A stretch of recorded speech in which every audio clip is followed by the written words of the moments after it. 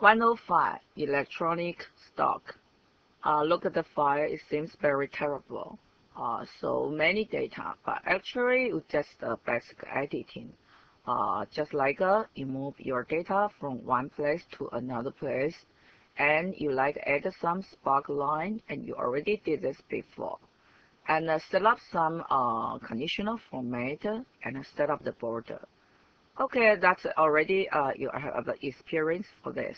So don't worry, let's uh, start. And the first question, we like arrange the order of this column. Uh, first will be the stock code and the time and the closing price. So it's not true here. So we need to move the uh, closing price and the opening price, these two columns, on in front of the trade price here, the trade price. Okay, so I will highlight these two columns. You can press cursor here, highlight it, and cut, and uh, place your cursor at the C1 and right click because you want to insert the cut cell.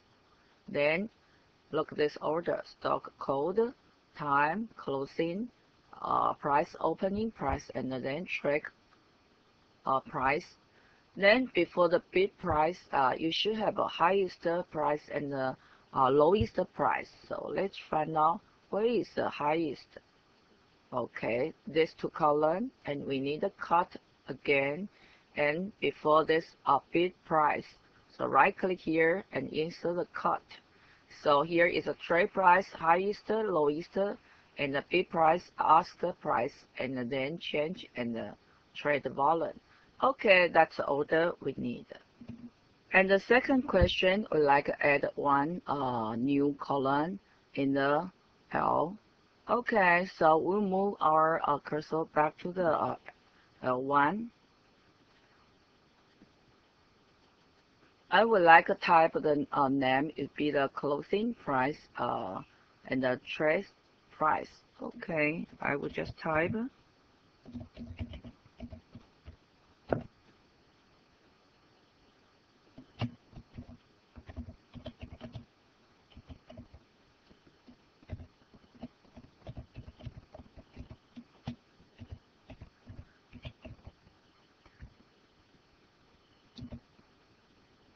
And we like to select this columns with uh, is a uh, 15 uh, that because look this it's a uh, I think it's too narrow so we need to change the width.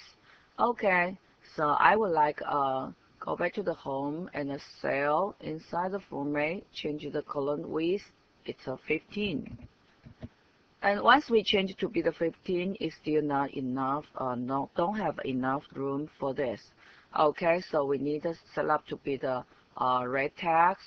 Okay, so what is the uh, wrap text is to be inside the alignment, this one.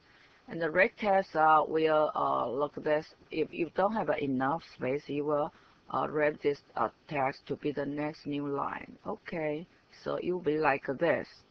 And then in this column, we like to set up the uh, spark line. It's a line spark line. And we will use uh, three uh, data, closing price, uh, opening price, and the trade price. Alright, so we're back to the uh, fire, and the spark line should be used insert and spark line. Uh, here we need to use a line spark line. And uh, what data we like? Okay, our data should be used uh, opening price and closing price. So start from C2 to F2 uh, to E2. Closing price uh, and the opening price and the trade price. Okay, and then here is the line spark line. Uh, but here we need to show up this the marker uh, and apply this uh, this style. It's a uh, a spark line style color one. Okay, so I think that would be this one.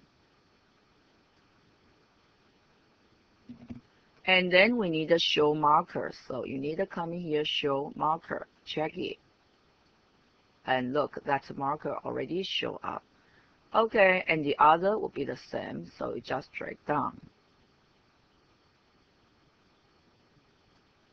Okay, so that's uh, our second question. Uh, I still want to remind the uh, student uh, here, for example, here the uh, name for the closing price. I think had better the same as this. The price is capital, so I will correct this. Okay.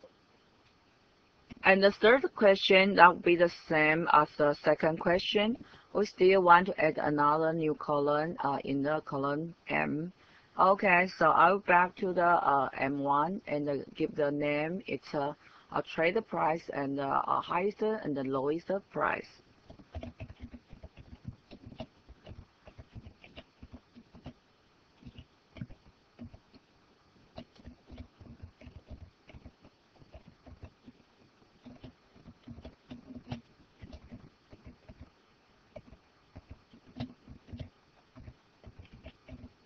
Wow, that's a long name.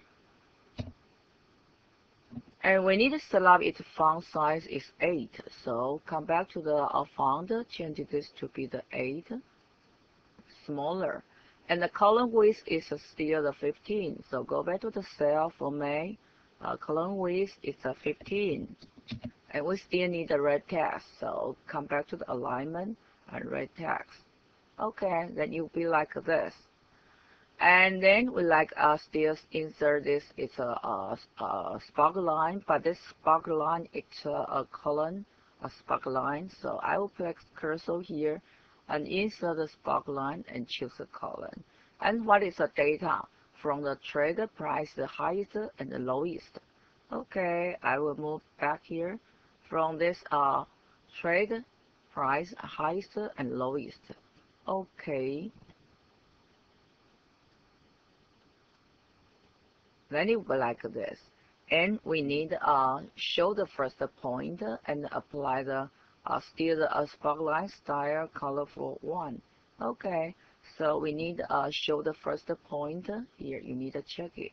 And uh, first uh, color one. Okay, and the other will be uh, same. So we can uh, drag down from the handle. Okay, And number four, we like to select the uh, conditional format for the uh, trade volume. Okay, so we will back to highlight this uh, trade uh, trade volume. And then go back to the Home tab, Style, uh, the conditional formatting. Here we need to use the data bar. Here this is a data bar. And the gradient fill is the orange data bar. Okay, so we come back to choose again. Data bars and the gradient fill and we will choose uh, this one is uh, oh this is a red. I think this one. Orange data bar. Okay. Then look here. Depend on how much is volume and select the bars uh, length. And the fifth question I would like to start to uh, set the format for the first row. Its height should be 35 and uh, the text color should be the uh, white background one like this. And uh, you need to fill the cell it's a blue color. Okay so I need to highlight the first row from the A1 to M1 and then uh, its height is uh, 35 so go to the cell group and the format and choose the row height 35 okay and then I like a uh, select its a color text color it's a white background one. So you need to change this to be the white background one. But don't worry because we will fill the color it's a uh, blue. Okay this one. And you you, you can uh, find out the uh, text already show up and last question, we'd like to set up the border for this area AA1 to M65. The inside border should be the thinnest solid line, and the outside should be the second thickest solid line. Okay, so we're back here to highlight all.